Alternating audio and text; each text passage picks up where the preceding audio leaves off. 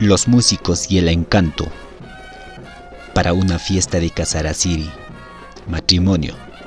Una familia había contratado una banda de músicos.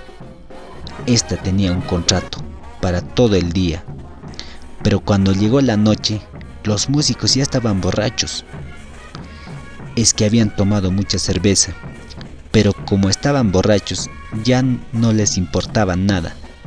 El dueño de la fiesta les daba más cerveza para que toquen. Ya era cerca de las 12 de la noche que decidieron irse. Se fueron tocando por la pampa, tomando y tocando. Así, tan borrachos en la noche, se les apareció un hombre. Para ellos era como si fuera de día. Ese hombre les dijo, les voy a pagar todo lo que quieren, señores músicos. Bueno, hicieron otro contrato. Entonces les hizo caminar por una ciudad. Los músicos asombrados, pero antes de entrar por la puerta, uno de los músicos se quedó a orinar.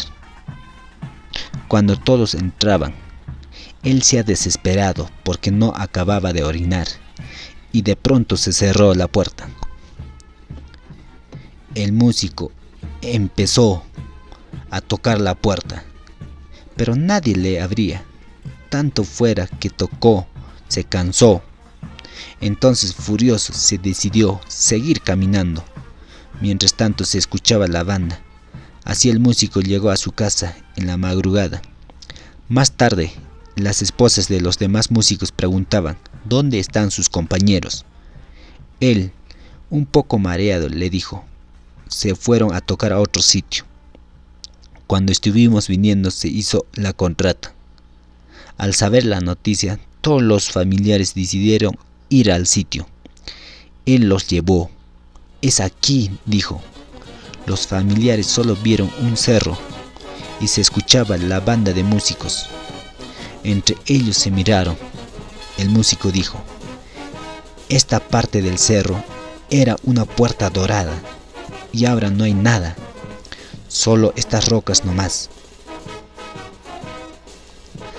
Así que durante unas semanas seguía tocando de día y noche. Esto ha disminuido cada día poco a poco.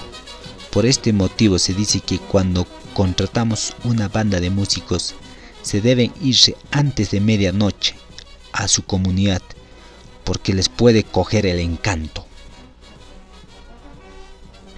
Muchísimas gracias, estaremos subiendo más videos.